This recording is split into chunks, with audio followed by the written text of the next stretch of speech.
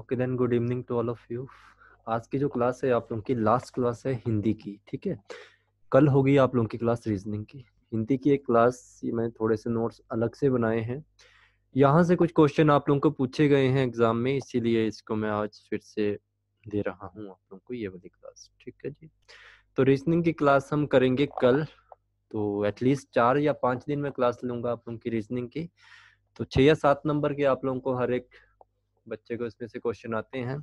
Traffic वालों को ज़्यादा आएँगे, जियो वालों को तीन चार आएँगे ट्रैफ़िक वालों को दस बारह आ सकते हैं और इसके अलावा क्लर्क होगा कोई स्टेनो के होंगे, जितने भी स्टूडेंट हैं आप लोग, ठीक है जी? तो कल करेंगे उसकी क्लास उसका जो टाइम रहेगा वो शाम का रहेगा टाइम शाम कहने की मतलब इस टाइम नहीं होगी क्लास उसकी उसकी होगी क्लास नौ बीस पे। और आप लोगों की कल से क्लास होगी कंप्यूटर की चार बजे। ठीक है। तो रीजनिंग आप लोगों का समझने वाला एक सब्जेक्ट है आप लोगों का तो इसको आप लोग प्लीज़ समझ लेना। एक बार समझोगे, उसके बाद ज़रूरत नहीं पड़ेगी आप लोगों को triple S B H P P S C level के एग्ज़ाम को, के लिए रीजनिंग को पढ़ने की दोबारा से, ठीक है? तीन या चार टॉपिक आप लोगों को आते हैं, बस उसको ध्यान से समझ लेना। और जितने भी यूट्यूब के स्टूडेंट हैं प्लीज़ अगर आप में से कोई स्टूडेंट अगर रीजनिंग सीखना चाहता है तो प्लीज़ मुझे इस नंबर पे व्हाट्सएप कर देना। तो मैं बता दूँगा क्लास कब होगी, कहाँ पे होगी, ठीक है? सिर्फ़ एक रीजनिंग की तीन चार क्लासेज आप लोगों को फ्री दे दूँगा, बाकी कोई क्लास फ्री नहीं मिलेगी, बाकी सारी क्लासेज आप लोगों की पेड रहेंगी, ओके? और ट्रैफ़िक इंस्पेक्टर का कोई स्टूडेंट होगा तो प्लीज़ आज मुझे मैसेज करना आप लोग, ठीक है? आप लोगों को मैं जीके में सीक्वेंस में कुछ वीडियोस प्रोवाइड करवाने वाला हूँ, आप लोगों के मॉक टेस्ट स्टार्ट होंगे। और जी वालों की आपके तो क्लासेस अभी चल रही हैं, आप लोगों को मैं एम आप लोगों को भी प्रोवाइड करवाऊँगा। बट आप लोगों को थोड़ा सा रुकना पड़ेगा, ठीक है? तो आज का जो टॉपिक है वो पद परिचय का है और पंकज जी, आपको मैं आज दे दूँगा सारी ड्राइव ठीक है? मुझे कल थोड़ा माइंड से स्किप हो गया आज मिल जाएँगी आपको ड्राइव ना। पद परिचय है आप लोगों का, पद परिचय क्या होता है? यहाँ से सीधा एक क्वेश्चन पूछा जाता है कि ये क्यों है क्या यूज़ किए जा रहे हैं और कैसे यूज़ किए जा रहे हैं, ठीक है? पद परिचय का मतलब होता है वाक्य में प्रयुक्त किसी एक पद अथवा सभी पदों का व्याकरण की दृष्टि से परिचय देना यह आप लोगों का पद परिचय कहलाता है। तो ये कुछ भी नहीं है, आप लोगों ने सारी चीज़ें पढ़ी हुई है। तो जैसे यहाँ पे लिखा गया है, मोहन केला खा रहा है। मोहन केला खा रहा है, मोहन क्या है? मोहन एक तरह की व्यक्तिवाचक संज्ञा है और लिंग में क्या है? ये एक तरह का पुलिंग है, ठीक है? तो ये चीज़ आप लोगों ने पढ़ी थी, आप लोगों को जस्ट इसमें जब पद परिचय में क्वेश्चन आते हैं, वो ये आते हैं कि आप लोगों से कुछ भी पूछ लिया जाएगा यहाँ से। आप लोगों से पूछा जाएगा कि, बताओ मोहन क्या है? बताओ ये क्या चीज़ है? खा रहा है क्या चीज़ है? बस इस चीज़ का क्वेश्चन एक मार्क्स का पूछा जाता है। तो मोहन की यहाँ पे दो आप लोगों को क्या बनेंगी? दो बनेंगी आप लोगों को यहाँ पे डेफिनेशन। एक तो बन जाएगी आपकी व्यक्तिवाचक संख्या की आइडेंटिटी और एक बनेगी पुलिंग की। खा रहा है मतलब सिर्फ़ एक ही पर्सन खा रहा है तो ये आप लोगों का एक वचन हो जाएगा। ठीक है तो खा रहा है, क्रिया का करता है ये आप लोगों का। केला क्या है? केला एक तरह की जाति है, जातिवाचक संख्या है और ये आप लोगों का पुलिंग के अंतर्गत आता है और एक ही आप लोगों का है तो ये आप लोगों का एक वचन कहलाएगा, ठीक है? तो ये चीज़ें आप लोगों ने ध्यान रखनी है, इम्पोर्टेंट है, ओके? फिर आप लोगों को मैंने कुछ एक चीज़ें बताई थी, जो आप लोगों की क्रिया के अंतर्गत आप लोगों की आती थी, कर्मक क्रिया, सकर्मक क्रिया। खा रहा है, ये आप लोगों की सकर्मक क्रिया है और वर्तमान काल में आप लोगों का क्या है? अपूर्ण वर्तमान काल है। क्यों अपूर्ण है? क्योंकि वो अभी कॉन्टिन्यू प्रोसेस में चला हुआ है, उसको अभी खा रहा है, उसने उसको खाकर खत्म नहीं किया है। तो ये चीज़ आप लोग प्लीज़ ध्यान पे रखना है, ठीक है? तो ये चीज़ें आप लोगों को पूछी जाती हैं, संज्ञा सर्वनाम के अंतर्गत जो भी आप लोगों को होती हैं, ठीक है जी? तो ये ध्यान रखना है। ये सारी आइडेंटिटी यहाँ पे लिखी हुई है कि संज्ञा की क्या आइडेंटिटी होती है आप लोगों की, संज्ञा में क्या क्या आते हैं। तो ध्यान रखना, संज्ञा पद में आप लोगों की हमेशा आते हैं लिंग। उसका भेद क्या है? वचन क्या है? उसके कारक कौन है? क्रिया का उल्लेख इसमें आप लोगों को आता है। सर्वनाम है, सर्वनाम में भी वही चीज़ आती है आप लोगों की, बट वो आप लोगों के जो लिंग और भेद होते हैं, उनके लिए वहाँ पे यूज़ होने लग पड़ता है, वह बे उनके वगैरह, ठीक है? तो इसमें आप लोगों के सर्वनाम में आप लोगों के वचन आ जाएगा, एक वचन है, बहुवचन है, फिर आप लोगों के पुरुष यहाँ पे आता है, बट ये वाला पूछा नहीं जाता है। कारक क्या है और क्रिया का उल्लेख क्या है? ये वाले जो होते हैं, आप लोगों को नहीं पूछे जाते हैं ऑलमोस्ट इनसे क्वेश्चन बनते हैं, ये दो तीन चीज़ों के ऊपर। विशेषण में भी यही चीज़, किस चीज़ की विशेषता बता रहा है, आप लोगों के लिंग क्या है, उसका वचन क्या है और उसकी विशेष्य मतलब उसकी विशेषता क्या है? क्रिया है आप लोगों की, क्रिया में अकर्मक है, सकर्मक है, आप लोगों की वचन है, ये सारी चीज़ें आप लोगों की आ जाएँगी। तो ये सब चीज़ें आप लोगों ने पीछे पड़ी हुई हैं, ये इंपॉर्टेंट चीज़ें होती हैं आप लोगों की। कहने की बात है, आप लोगों ने ये सारे टॉपिक जितने भी हैं, जहाँ पे ये बताए रखे हैं, इनको अच्छे से एक बार फिर से रिवाइज कर लेना, ये सारे क्वेश्चन आप लोगों के हो जाएँगे। जैसे यहाँ पे देखिए, मोहन सातवीं कक्षा में पढ़ता है। तो मोहन क्या है? एक तरह की व्यक्तिवाचक संज्ञा है। ऊपर से ये आप लोगों का जो मोहन है, वो पुलिंग के अंतर्गत सॉरी महेश आप लोगों का पुलिंग के अंतर्गत आएगा। और ये एक वचन है आप लोगों का तो पुलिंग कर्ता कारक है तो पढ़ता है क्या है? पढ़ता है मतलब वो किसी क्रिया से रिलेटेड संबंध है, कुछ ना कुछ वो कर रहा है तो क्या कर रहा है? वो पढ़ रहा है, ठीक है? कौन सी कक्षा में? सातवीं तो सातवीं और कक्षा का यहाँ पे कोई भी लिंक नहीं होता है। विशेषण की बात की जाए तो विशेषण का मतलब यहाँ पे सुंदरता हो रही है, किसी का गुण बताया जा रहा है तो राधा बहुत सुंदर लड़की है, और आप लोगों से पूछा जाए, बताओ इसमें जो आप लोगों का सुंदर है वो क्या है? सुंदर एक तरह का आप लोगों का क्या है? सुंदर आप लोगों का विशेषण है, ठीक है? और इसमें आप लोगों की क्या रहेगी? इसमें आप लोगों का गुण बता रहा है किसी की सुंदरता का। राधा क्या है? राधा एक तरह की स्त्रीलिंग है और राधा क्या है? एक वचन है आप लोगों का। और लड़की है, लड़की इसका विशेष मतलब इसमें जो विशेषता है वो लड़की होने की है। अभ्यास प्रश्न आप लोग देख सकते हैं, इनमें से कौन कौन से बनेंगे? वह फुटबॉल खेल रहे हैं, ठीक है? वह फुटबॉल, सॉरी, वह फुटबॉल खेलते थे। तो इस क्वेश्चन में सबसे पहले सिंपल सी बात आप लोगों ने ध्यान रखनी है, इसमें कैसे आप लोगों ने याद रखना है? पहले याद रखना आप लोगों ने खेलते थे। खेलते मतलब एक वचन है तो ये तो गलत हो गया, क्योंकि ये पुलिंग में आप लोगों का, सॉरी, आप लोगों का बहुवचन में आएगा। तो एक वचन है, इसी से पहचान करनी हमेशा आप लोगों ने जब भी करनी एक वचन तो हो नहीं सकता तो डायरेक्ट आप लोग इसका आंसर दे सकते थे। अगर फोर्थ ऑप्शन आप लोगों के पास अवेलेबल होता और वहाँ पे भी बहुवचन होता, फिर आप लोगों ने इसमें ये चीज़ देखनी थी कि क्या है आप लोगों का। सामान्य, भूत, स्त्रीलिंग है, पुलिंग है। तो ये पुलिंग में आएँगे आप लोगों के, क्योंकि आप लोगों को बताया था मैंने कि जो भी आप लोगों के सर्वनाम के अंतर्गत जो भी आप लोगों की डेफिनेशन वगैरह आती हैं, वो सारी पुलिंग में आती है। ठीक है जी? तो इस चीज़ का ध्यान रखना, ऐसे ही आप लोगों के क्वेश्चन होते हैं और हमेशा हिंदी में जो क्वेश्चन आप लोगों के होते हैं, वो तीन ऑप्शन ही आप लोगों को देता है इन चीज़ों की पहचान के लिए। तो हमेशा इस चीज़ का ही ध्यान रखिए। तो दो आप लोगों के ऑलमोस्ट वो डायरेक्टली हिंट दे देता है कि भाई ये गलत होंगे। तो यहाँ पे अगर होता है, वह फुटबॉल खेल रहा है, तब आप लोगों को ये दोनों चीज़ें देखनी पड़ती, ये वाली। ठीक है? तो ये इंपॉर्टेंट रहने वाले हैं। नेक्स्ट जैसे आप लोगों का है, सोनम मधुर गाती है। सोनम क्या है? मधुर गाती है। तो यहाँ पे आप लोगों ने देखना है, स्थानवाचक है, कालवाचक है तो सोनम है आप लोगों की तो गा रही है, मधुर गा रही है। मधुर का मतलब उसकी जो आवाज़ है वो मधुर है, और मधुर आवाज़ किन की होती है आप लोगों को पता है, एक तरह का ये रीतिवाचक क्रिया विशेषण के अंतर्गत आता है।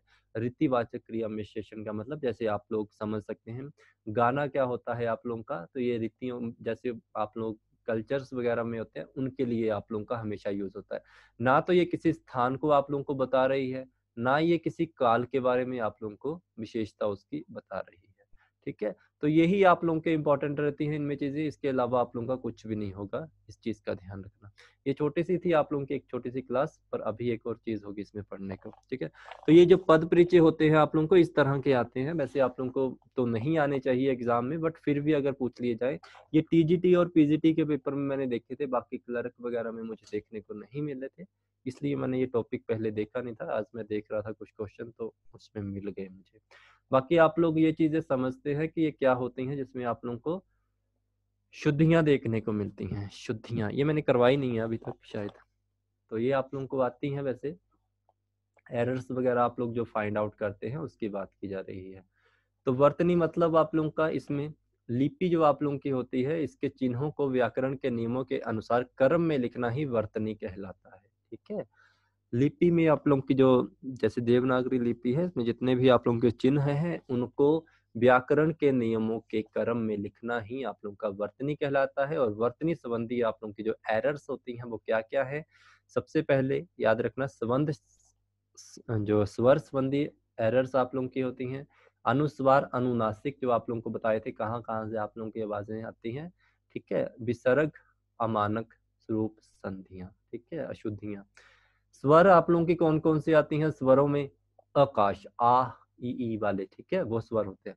आकाश गलत है, आकाश सही है। कवि गलत है, कवि सही है। अत्याधिक गलत है और अत्यधिक सही है, ठीक है? तो वैसे आप लोगों ने ध्यान रखना ऐसे एरर्स भी आप लोगों को बीच में आती हैं।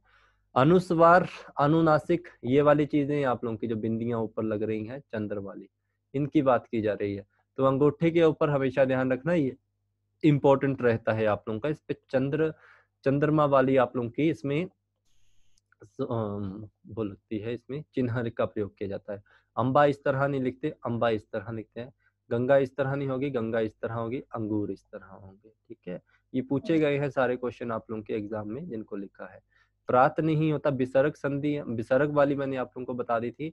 प्रात नहीं होता प्रातः होता है निसंदेह नहीं होता निसंदेह होता है ठीक है? अलग अलग इसके बीच में ये आती ही आती है।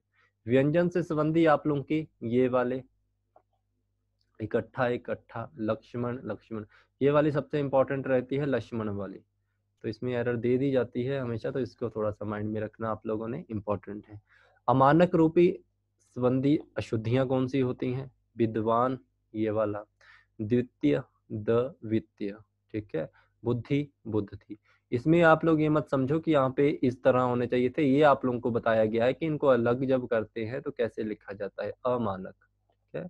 तो अमानक में जा, अगर यहाँ पे बात की जा रही होती तो विद्वान आप लोगों का इस तरह होता है, ठीक है? तो ये इंपॉर्टेंट है। वाक्य संबंधी अगर आप लोग की आई तो ये वाली तो पूछी जाती ही जाती है, लिंग से संबंधित तो आप लोगों को बताया था ऑलमोस्ट ये सारी चीज़ें स्त्रीलिंग के अंतर्गत ही पूछी जाती हैं तो इनको भी हमेशा ध्यान रखना। अशुद्ध वाक्य बिजली चला गया, बिजली चली गई। राइट होगा ये। मुझे वर्षा ऋतु अच्छा नहीं लगता, अच्छी नहीं लगती, यहाँ पे गलती है। ठीक है, वचन संबंधी आप लोगों की अशुद्धियाँ हैं, अशुद्ध वाक्य यहाँ पे क्या है ये? तो ध्यान रखना, विवेक के दादाजी का प्राण निकल गया, का की जगह के आएँगे। वचन है काके की। ठीक है तो राम का आँसू देखकर मेरा मन उदास हो गया, राम का नहीं आएगा, के आँसू आएगा। ठीक है तो ये है। कारक संबंधी मैं ईश्वर की श्रद्धा रखती हूँ तो कारक में मे वगैरह आते हैं तो मैं ईश्वर में संबंध रखता हूँ, कर्ता ने कर्म को कर्म के द्वारा वो वाले, ठीक है? अशुद्ध वाक्य, अखबार पर क्या छपा है? अखबार में क्या छपा है? तो ये हैं आप लोगों की अशुद्धियाँ वगैरह। सर्वनाम संबंधी मैंने जयपुर जाना है, मुझे जयपुर जाना है, ठीक है? तो यहाँ पे इम्पोर्टेंट है, इसमें गलती हो जाती है तो मैंने नहीं होता है, मुझे का प्रयोग किया जाता है। आप अपने को नहीं जानते सॉरी, आप अपुन को नहीं जानते, अपुन नहीं होता है, मुझे होता है। ठीक है तो ये छत्तीसगढ़ की भाषा है, यहाँ पे यूज़ नहीं होती है हिंदी भाषा में। वहाँ लोकल लैंग्वेज में आप लोगों की ये यूज़ की जाती है। अशुद्ध वाक्य, ये नारियाँ, गलत है आप लोग की विशेषण में जो बिंदु वगैरह लगाते हैं, ठीक है? अशुद्ध वाक्य, ये सब बच्चे अच्छा है अच्छा नहीं होगा, ए आएगा, ये वाला। क्रिया संबंधी क्या आप भोजन खाएँगे? तो खाएँगे नहीं होता, क्या आप भोजन करेंगे? आप यहाँ से जाओ, आप यहाँ से जाओ नहीं होगा, जाइए होगा। तो ये क्रिया संबंधी होते हैं, ठीक है? जाओ नहीं होता है, ओ का प्रयोग नहीं होता है, ई का प्रयोग होता है आप लोगों का, ठीक है? तो ये सारे आप लोगों के जो हिंदी टॉपिक था आप लोगों का, वो इस तरह से कंप्लीट आज हो जाता है आप लोगों का। तो हिंदी में जितने भी आप लोगों के टॉपिक होंगे, मैंने आप लोगों को कहा है कि मैं आज आप लोगों को कंप्लीट सिंगल एक पीडीएफ में सारे टॉपिक अपडेट कर दूँगा, आप वहाँ से ही पढ़ लेना और वीडियोस भी देख लेना आप लोगों ने। और कल मैं आप लोगों को रीजनिंग करवाऊँगा नौ बीस पे और कल इस टाइम पे आप लोगों के कंप्यूटर की क्लास होगी तो उसका भी ध्यान रखना है आप लोगों ने। और ट्रैफ़िक इंस्पेक्टर वाले बच्चे कह रहे हैं कि आपको कंप्यूटर नहीं आएगा, बच्चे ध्यान रखना। आपके सिलेबस में बड़ा करके उन्होंने लिखा हुआ है वर्ड प्रोसेसिंग वर्ड प्रोसेसिंग का मतलब होता है आप लोगों का एम एस ऑफ़िस ठीक है? एम एस ऑफ़िस में आप लोगों को माइक्रोसॉफ्ट वर्ड अगर माइक्रोसॉफ्ट वर्ड की बात की है तो आप लोगों को एम एस ऑफ़िस ही पढ़ना पड़ेगा पूरा। साथ में आप लोगों को कंप्यूटर के चार या पाँच एक्स्ट्रा क्वेश्चन आएँगे टोटल लेके रखी दस क्वेश्चन आएँगे। तो जो मैंने आप लोगों को कंप्यूटर की क्लासेस दी हैं, दस, पंद्रह, बीस, उनको प्लीज़ देख लो। वहाँ से क्वेश्चन आएँगे, उसके बाहर क्वेश्चन नहीं आता। तो इस चीज़ का ध्यान मत करिए कि मैं आप लोगों को कुछ एक चीज़ें एक्स्ट्रा पढ़ा रहा हूँ, ऐसा कुछ नहीं है। आप लोगों को पहले ही पता है कि मैं एग्ज़ाम के लेवल पे ही पढ़ाता हूँ। एग्ज़ाम से बाहर कुछ फ़ायदा नहीं होता है पढ़ने का और ना ही पढ़ाने का। तो आप लोग उस चीज़ को पढ़िए आराम से, आप लोगों के पेपर में आएगा दस बारह नंबर का काफ़ी गैप हो जाता है, ठीक है? और आप लोगों का जो ट्रैफ़िक इंस्पेक्टर का पेपर है, ये मत सोचना दस बारह हज़ार बच्चों ने भरा होगा एटलीस्ट इसमें भी एक लाख बच्चों ने पार्टिसिपेट किया होगा चालीस प्लस पोस्टें हैं तो एक लाख से कम बच्चे नहीं होंगे इसमें तो ये चीज़ ध्यान रखिए। ओके जी? तो कल रीजनिंग की क्लास होगी, एक चीज़ का ध्यान रखना ए से लेके जेड तक की आइडेंटिटी रखना याद। कहने की बात ए वन होता है B two C three D four ठीक है? जेड तक। ये याद रख लेना, ये काम आएँगी आप लोगों की चीज़ें, इनको ध्यान में रखेंगे और आप लोगों को कल मैं रीजनिंग करवा दूँगा। तो छोटे छोटे मिसलेनियस टॉपिक जो आप लोगों के होंगे वो कंप्लीट हो जाएँगे, उसके बाद मॉक टेस्ट प्रोवाइड करवाऊँगा आप लोगों को मैं। ठीक है जी? तो उनको करो अच्छे से और आराम से पढ़ते रहो। ठीक है जी? थैंक यू सो मच मिलते हैं कल की क्लास। कल नहीं, कितने बजे क्लास है? आठ बजे क्लास होगी मेरी कंप्यूटर की। उसमें मिलते हैं आप लोग का। धन्यवाद।